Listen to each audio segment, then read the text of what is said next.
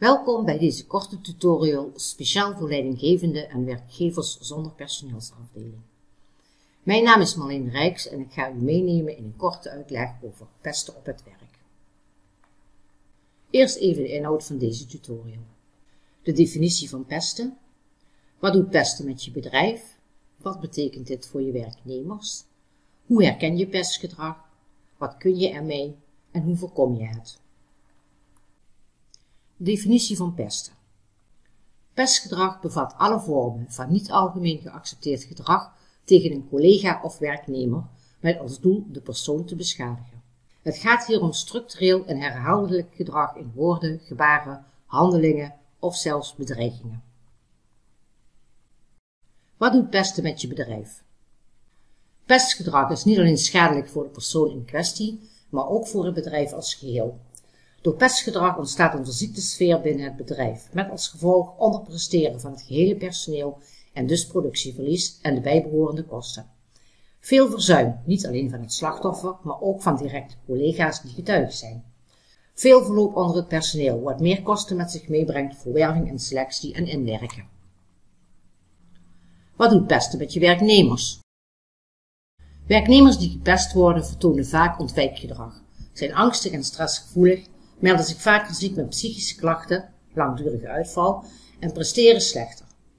Werknemers die getuigen zijn van pestgedrag, maar hier geen veranderingen in aan kunnen brengen, wisselen vaker van baan en spreken dan ook negatief over hun ex-werkgever, wat weer imagoschade oplevert. Hoe herken je pestgedrag? TNO geeft de volgende handvatten voor het herkennen van pestgedrag pesten in de directe relatie tussen personeelsleden onderling, achter de rug van het slachtoffer om roddelen en ondermijnen van diens positie, het zoekmaken van eigendommen of bedrijfseigendommen of het niet uitnodigen voor vergaderingen en het niet delen van relevante informatie voor het werk, het maken van vervelende opmerkingen over iemands uitzien, persoonlijke leven of het publiekelijk vernederen van iemand. Wat doe je als leidinggevende aan pestgedrag?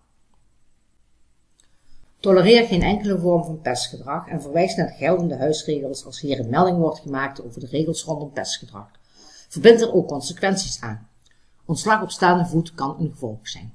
Schakel een vertrouwenspersoon in en ondersteun het slachtoffer om hem of haar meer weerbaar te maken. Hoe voorkom je pestgedrag? Haal pestgedrag uit de taboesfeer en maak het onderdeel van teamoverleggen. Leer alle medewerkers om pestgedrag te herkennen. Ten slotte, als dat nog niet gedaan is, leg gedragsregels vast. En dan nog even over Visma Verzuim Manager App.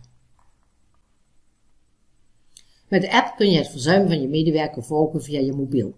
Altijd bij de hand en je hebt snel inzicht in het dossier. Ten slotte heb je ook nog andere taken dan zieke medewerkers begeleiden. Bekijk de demo van de Visma Verzuim Manager app.